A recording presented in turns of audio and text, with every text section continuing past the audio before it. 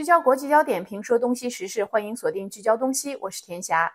最近美国的外交动态值得大家玩味。在之前美国国务卿布林肯访华之后，美国的数位高官部长频繁访华，包括财长耶伦、气候问题特使克里、商务部长雷蒙多，终于在努力之后缓解了年初所谓中国气球事件引发的中美关系低潮。九月十六日到十七日。美国总统国家安全事务助理杰克·沙利文匆匆赶往马耳他，一个第三国，抢在王毅按计划访问俄罗斯之前，与王毅进行了一场相当扎实的十二个小时的会谈。在国际外交中，越是在计划以外、低调的在第三国的外交接触，长时间会谈才真正是最实质性的交锋和交底，也是最想做成事儿的方法。也就是说。中国这时候直接画出了红线，给出了底线，亮出了底牌，并且给出预警的外交实战。美国则在试探可能性与弹性，试探两国的互动空间。根据一众西方主流媒体的报道，包括路透社、法新社、美联社等等的新闻社的消息，这次在马耳他的沙利文抢先见王毅谈到的主要问题是四个，按顺序是。第一是中美关系问题，第二台湾问题，这实际上是大命题下面的小命题，也就是总纲和核心问题的区别。第三个是亚太局势，第四位才是乌克兰危机。其中台湾问题会谈的时间最长，而且据中国环球网报道，双方是以坦诚、实质性和建设性的状态进行沟通。按照马斯克的话说，中国对台湾问题就是字面上的意思，没有虚张声势。美国不应该误判。台湾是中国的一部分，是中国的红线。红线如果被击穿，中国会有坚决的回应，而这个坚决的回应将是现在的美国无法承受的。这不是外交辞令，是必须划重点的核心中的核心。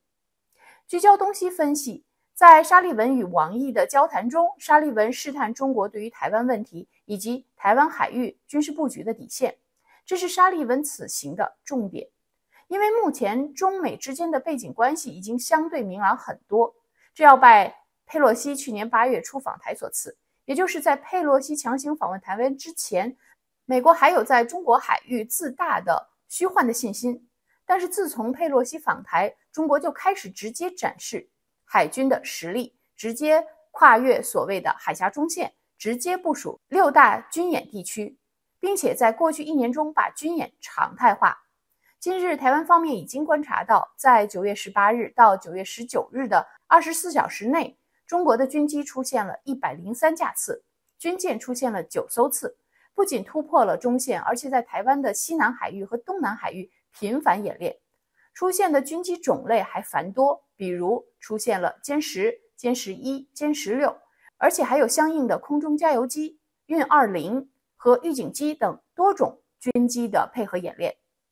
这些亮剑的军事演习，实际上是将中国军队在中国海运的军事实力直接显示，起到威慑的作用。言外之意就是，来看看我亮出来的实力。美国要协防台湾，请你比较一下是否有实力协防，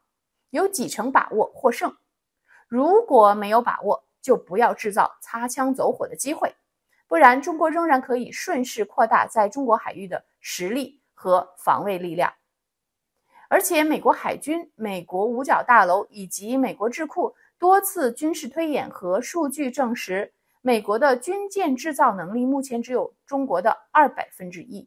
每年仅仅能够制造十万吨级的军舰，而中国则有两千三百五十万吨级左右的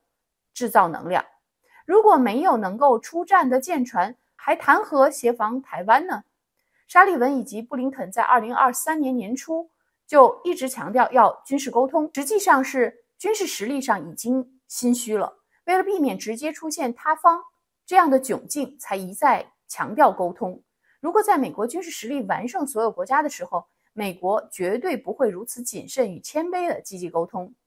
比如，一九九一年一月十七日，美国以迅雷不及掩耳之势，以沙漠风暴行动为名拿下了伊拉克。他不需要跟伊拉克做任何沟通，打就完了。一个月的时间，伊拉克军队从科威特撤退，并接受停火。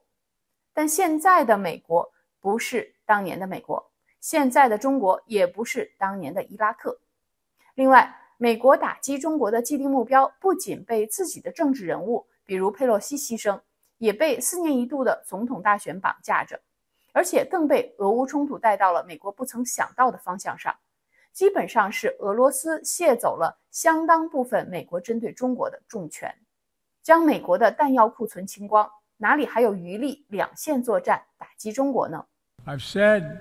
we are for de-risking, not decoupling with China. We will push back on aggression and intimidation and defend the rules of the road, from freedom of navigation to overflight to level economic playing field. That have helped safeguard security and prosperity for decades. But we also stand ready to work together with China on issues where progress hinges on our common efforts.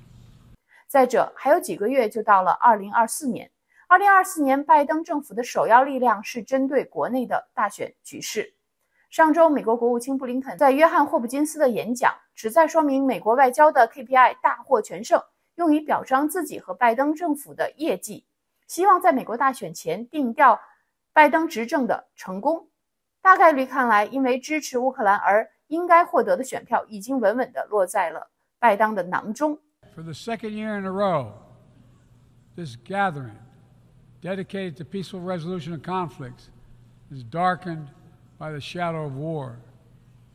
An illegal war of conquest brought without provocation by Russia against its neighbor Ukraine. Like every nation in the world, the United States wants this war to end. No nation wants this war to end more than Ukraine. And we strongly support Ukraine in its efforts to bring about a diplomatic resolution that delivers just and lasting peace. 因此，必须在王毅与俄罗斯同行敲定中俄两国元首会面事件之前，沙利文抢先与王毅沟通，希望为中美两国元首至少今年年底在 APEC 会议上的可能会面 创造条件，这个举措在马耳他基本上是完成任务了。因为王毅在见到俄罗斯外长拉夫罗夫之后，经典的强调，中俄的关系，中俄的外交关系是不针对第三方，不受第三方干扰，不被第三方左右，至少没有给美国一个冰冷的铁幕。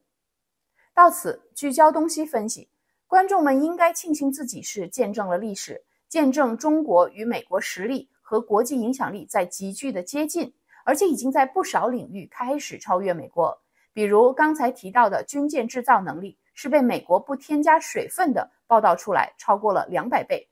抬头仰望太空，中国的北斗和空间站毫不隐晦地直接宣布，已经在太空技术领域遥遥领先美国。然后是大家都在关注的芯片领域，量子芯片还是光刻中心，而不是光刻机的出现，已经是用不同的方式达到了相同的目标。这些目睹着中国从一穷二白急起直追，逐渐比肩，超越原来的世界唯一的强权，是一个惊心动魄的过程。就像去年聚焦东西预言去美元化一样，去美元化正在以所有人都没有想到的速度进行着，